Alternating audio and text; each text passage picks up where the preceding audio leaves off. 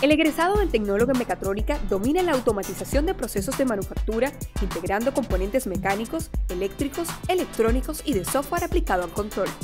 Este profesional aplica en los procesos de producción la automatización para hacerlos más eficientes y emplea sistemas de control en los mismos. ITLA, la oportunidad de un futuro mejor.